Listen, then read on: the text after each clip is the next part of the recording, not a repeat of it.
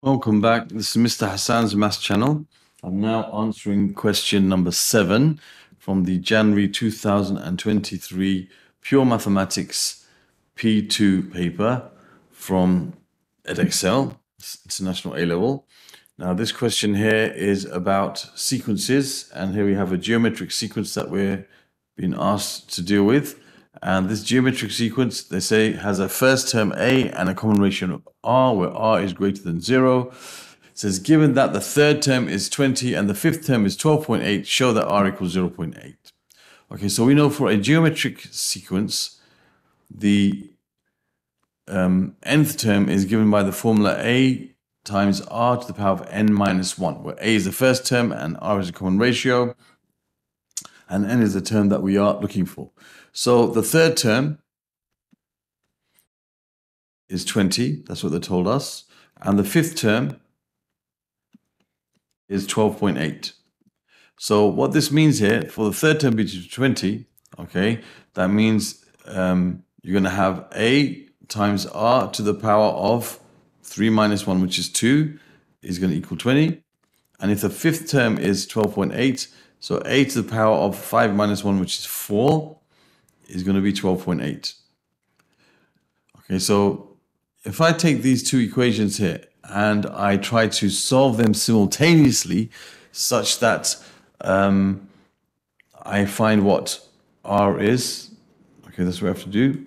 Now, the probably the easiest way to solve an equation or a pair of equations like this simultaneously is by simply by dividing them. You'll see that if I take equation 2 divided by equation 1, the a's will be cancelled out. I'll have ar to the power 4 over ar squared equals 12.8 over 20. And the a's cancel out, and I'm left with r squared equals 12.8 over 20. And then, therefore, r is equal to the square root of that.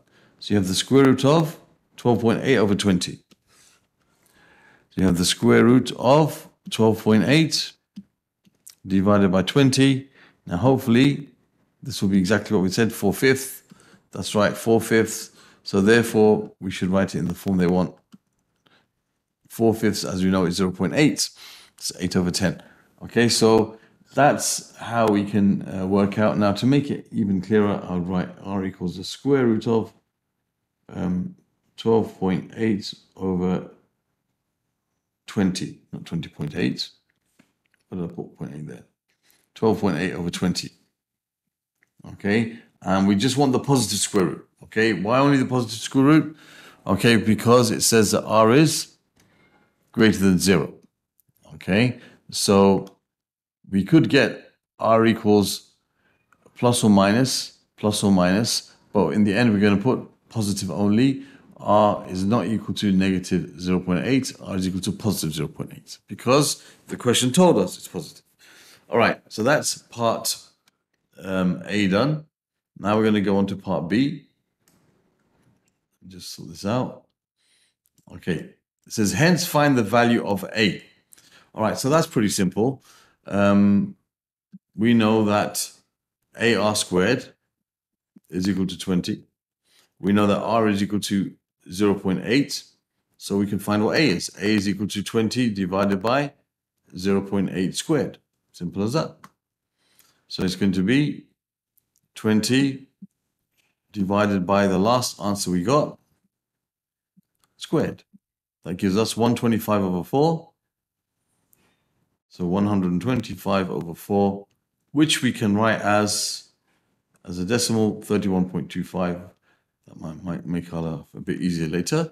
So there's part B done. Now, part C says, given that the sum of the first n terms of the sequence is greater than 156, find the possible small, let's find the smallest possible value of n. Okay, so now, now we're being asked about the sum of the series. Okay, the sum. All right, before we were told about certain terms, now the sum. So we got to use the formula for the sum of a geometric series, and that that formula is a times 1 minus r to the power of n over 1 minus r. That's the formula for the sum of a geometric series. So what I'm going to do is I'm going to find the value of m for which this sum is equal to 156. So I want to find out what, what is the value of n such that Sn is equal to 156, and then we can work out the value of n, which will where the sum will be greater than 156. Okay, so that's uh, the sum of the series. We know the first term is 31.25 as we just found, and we know the common ratio is 0.8 as we've been told. So we can say here that um, 31.25 times 1 minus 0.8 to the power of n, which we have to find, over 1 minus 0.8 is equal to 156. I'm finding the value of n for which this is true, and then I can work out the value of n for which the sum will be greater than that. So this is going to be 1 minus 0.8 to the power of n equals uh, so I'm going to multiply by 0 0.2, 156 multiplied by 0 0.2y, because that gives you 0 0.2, divide by 31.25. Okay, so I have 156, 156 times 0 0.2 divided by 31.25. That gives you 624 over 625. So 1 minus 0.8 to the power of n equals 624 over 625. Okay, so we're going to find what n is. So what I'm going to do, I'll do 1 minus 624 over 625 equals 0.8n to the power of n. This gives you 1 over 625 equals 0.8 to the power of n. So now what we can do is we can take the log to the base of 0.8 of both sides. Log to the base of 1 over 625 equals n. I'm taking the log to the base 8 of both sides. So we can say n equals, so we're going to take log to the base 0.8 of oops, 0.8 of 1 over 625. Okay, and that gives us our answer, which is 28.850, 28.850. So we can say that um, Sn equals 156 when n equals 28.850. Therefore, okay, the smallest, smallest n for Sn to be greater than 156 is when n equals 29. Okay, the 28th term, okay, the sum will be less, the sum of the terms will be less than 156. All right, the 29th term is going to be the first term where the sum exceeds 156 because on the 28.8 something term, it's going to reach 156. Of course, n has to be an integer.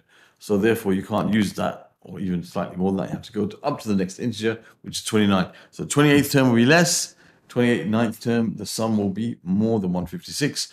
And that is the answer to this question.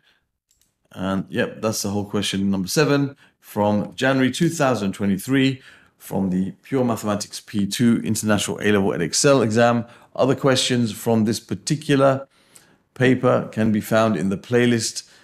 Uh, the link will appear over here for the playlist for this paper. For the topic of sequences and series from um, P2, you'll find the playlist over here. You can subscribe to my channel by clicking on this link and you can watch the video here, which will tell you how to navigate my channel to find what you need. Thank you for watching and see you soon.